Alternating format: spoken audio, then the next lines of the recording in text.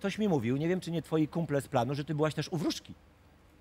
No różdżka u wróżki bywa, to jest Wróżczka u wróżczki. Tak, byłam. Byłaś u różdżki? Znaczy, przepraszam, u wróżki? Byłam u różdżki i Ty się powróżyłam. nie wyrywaj z oklaskami, dobrze? Oklaski mają być spontaniczne, dobrze? Co jakiś czas.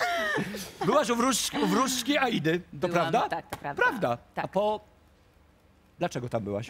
A po co? A po co tam byłaś? Byłam, no żeby dowiedzieć się, co robić, tak. Bo to była duża decyzja dla mnie. To było związanie się z y, projektem. No. Głównie byłam z tym, wiesz, i to, to w ogóle coś przedziwnego, że ja o nic nie pytałam i ona mi wszystko A powiedziała. co Wiedziała- powiedziała wróżka Aliczka- Alicja? Wiesz co, naj, najpierw opowiedziała mi o różnych rzeczach, które mnie spotkały. Nie mówi się w wróżka, życiu. jak się mówi naprawdę? Wró- Wróżka, Jak? wróżka.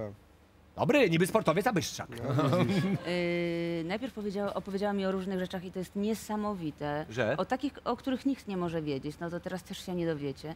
I już wiedziałam, że wie, że wie więcej niż przeciętna osoba i widzi. Naprawdę? Tak. I też powiedziała mi, że przyszłaś z problemem takim, że nie wiesz, czy, czy, czy jakby ta propozycja, czy ta propozycja zawodowa, ta wiąże się z tym, ta z tym. Ja powiedziałam tak.